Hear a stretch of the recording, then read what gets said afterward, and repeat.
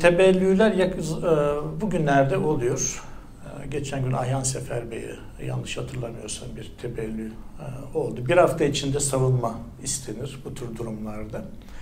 Daha sonra kurul toplanır ve kararını verir. Çok uzayacağını tahmin etmiyorum. Peki, uzayacağını tahmin etmiyorsunuz.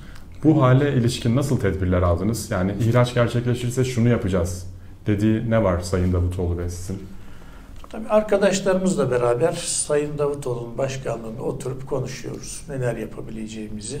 Tabii ilk önce tabii bu e, iddiaları bir görelim diye düşündük. Daha sonra bununla ilgili düşüncelerimizi e, hem kamuoyuna hem partiye e, açıklayacağız.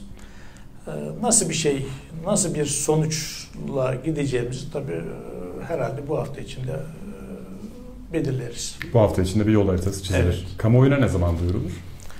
Muhtemelen bu hafta içinde bir kamuoyu açıklaması e, yapılır diye düşünüyorum.